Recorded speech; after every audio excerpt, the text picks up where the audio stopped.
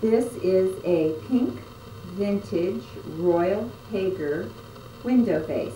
It measures a full 12 inches long and is marked on the bottom with Royal Haeger R1499. It is in used condition, but it is so unique.